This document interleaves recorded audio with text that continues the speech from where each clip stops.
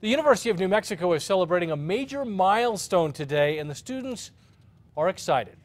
Happy birthday, UNM. I'm glad to be a part of it. This morning, UNM paid homage to the 125th anniversary.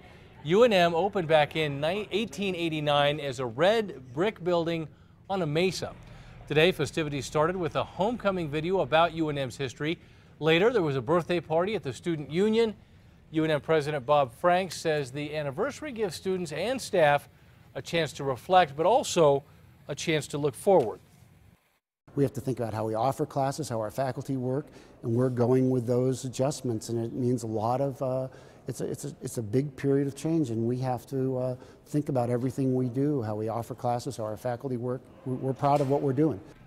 Officials say the anniversary celebration will continue throughout the year. It will also be the theme for homecoming.